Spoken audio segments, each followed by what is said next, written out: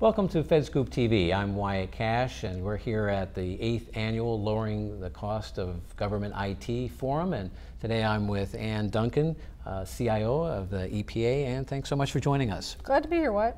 So, um, wanted to chat a couple uh, areas. One is the cloud. We've seen cloud, uh, we're five years into generally trying to implement it. We've seen the promise of a lot of savings. Um, Tell us a little about how you see um, where we are in the curve of some of those savings and efficiencies, and is there more opportunity for additional savings to wring out from what cloud offers? So I think most agencies are still pretty early in that process. If I look across my portfolio of investments at EPA, we have a relatively small percentage that are truly in the cloud mm -hmm. and are truly built as cloud native applications that can take full advantage of the cost savings we can achieve in the cloud. So I think there's a lot of opportunity for more savings, and you know, we're, we're pursuing multiple paths to get there. Mm -hmm. Terrific. Well, and that kind of relates to a second topic of modernizing legacy systems. And, you know, it, it seems like we're in this catch 22. You need some initial investment to be able to get off the mm-hmm. legacy and into more modern systems. But um, uh, I guess, could you describe a little on what kind of progress you're making at EPA on moving away from or um, transitioning mm -hmm. from legacy systems? And are you seeing any savings uh, so far that you can uh, go back to management and say this is definitely paying off? Yeah, the, the savings question is a really tough one because uh, you know we start a project and, and you reach an agreement with someone that yeah we're going to save a bunch of money, and then by the time you get to the project, somehow uh, that savings uh, is a little harder to quantify because mm -hmm. people are worried about their budgets disappearing. So I think as a, as a government, again, we have a lot of work to do to be able to truly quantify some of these savings. Um, but definitely we're seeing as we come the other side, and it takes a lot of time for these modernization projects in some cases, uh, that we're really seeing some, some savings in terms of the way things operate, um, the cost of operating those systems, and more importantly, the cost of modernizing them the next time because we're not creating big monolithic uh, systems that can't be easily modernized, but we're creating modular systems where you can take a piece out and replace it when you need to. So we have focused more on building new things in modern ways and very slowly moving some of our old things. Right now we're doing things like removing customizations from some of our solutions mm -hmm. and getting ready to move some of those. Um, so we're starting to see some small benefits, but we really are seeing big benefits on the things that we've started in the cloud and been cloud native and used modern development and agile practices from the very beginning. Mm -hmm. Well, and I think sometimes the argument around savings is short-sighted. I mean, there's the urgency of older systems just really running out of their life cycle. Mm -hmm. And then there's the new value that you can add to the mission that is sometimes hard to articulate. Uh, it's different than savings, but mm -hmm. it is a kind of a, a, form of return on investment. So are, are you seeing some progress either in terms of um, uh, reducing the risk of aging mm -hmm. systems that really become a mm-hmm. potential hazard, or uh, new value that you've been able to offer uh, both your employees and uh, all the people that are part of the EPA ecosystem. Right, and that's definitely true. We see, I mean, there's no doubt we save money. It's often hard to quantify, as I said, but we, the biggest advantage for us in these systems is really the ability to deliver new capability to people really quickly. And we're delivering services that reduce burden on the public mm -hmm. very fast uh, in some cases. In just a few months, we can take a system, we can automate a process that was previously manual, or we can simplify a process that was previously very complex and see real savings and benefits to the regulated community and to the general public. And that's, that's a pretty huge uh, savings that we see on, on a regular basis from these. We also are able to, as you said, get rid of some of those things that are obsolete, which create risk in terms of systems being unsupported from a security mm -hmm. standpoint and also from an operational standpoint of, you know, as soon as I upgrade the operating system on the desktops, this system's going to be obsolete. I've got to get rid of it, right? So I got to move that, move fast, get rid of that system so that I can then focus on uh, making sure my staff has the best productivity tools that aren't hobbled by a system that can't go to Windows 10, for example. Right.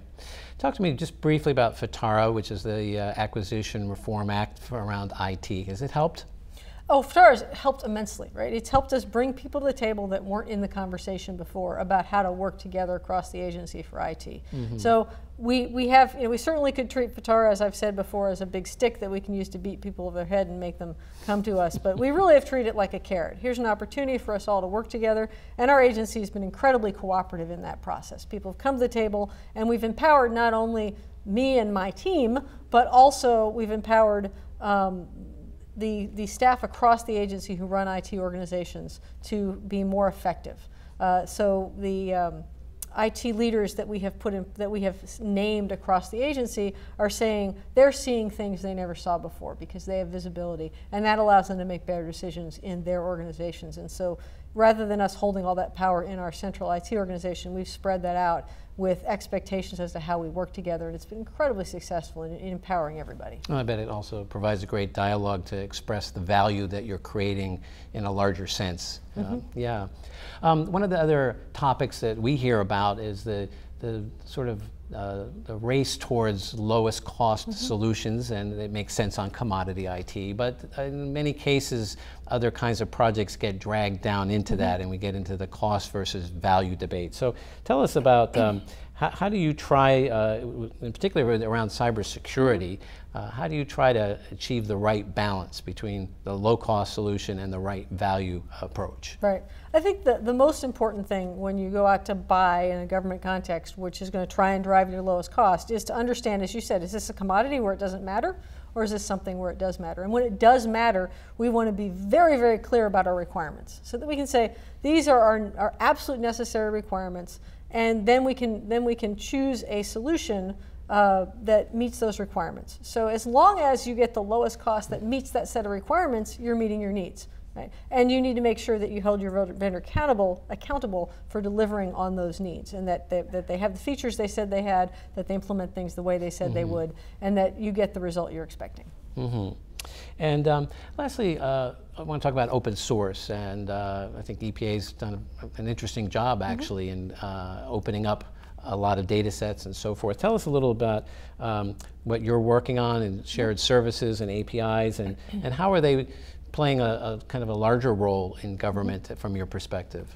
So, so shared services are, are, key in terms of our modernization effort. We have a number of shared services already had in place for mission systems, and we're continuing to grow that base of shared services to provide those uh, capabilities across the agency. So we have things like a facility registry system, a substance registry mm. system, um, non-repudiatable authentication solution. Thing, all those things that we need to help people gather regulatory data and that they can use those as shared services across the agency. And then we also, as you know, provide some shared services across the government as well that are not these you know, small components but actual uh, capabilities that are provided to other agencies like FOIA Online and regs.gov. Mm -hmm. But leveraging all of those shared services are incredibly important to all the agencies in terms of getting more efficient and more effective. And we want to share, even our registries and services internally, we're happy to share with other agencies because those just make those tools stronger. And since you work with states and other mm -hmm. kinds of uh, external agencies, are you finding the sort of open government, open data approach is, um, is kind of filtering through the ecosystem and is that coming back to help you? So, you know, it's a mixed bag through the ecosystem. We have states and tribes that are very interested in open data and engaged in that process with us. And as you point out, we've got a lot of open data. EPA has more data sets on data.gov, I think, than any other agency right now. Hmm. Um, so we're very uh, transparent about our data. We're also transparent about a lot of our actual code as well. And so that sharing of data and sharing of code um, works really well with some entities, with some states and some tribes.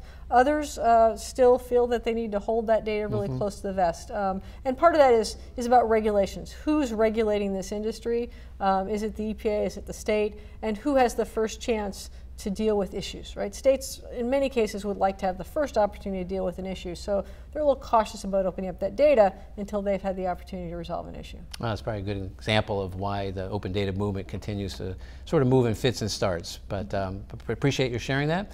Uh, Ann Dunkin, thank you so much for joining us today. And uh, we thank our audience as well for joining us on FedScoop TV. I'm Wyatt Kash, and look for more of our episodes on fedscoop.com.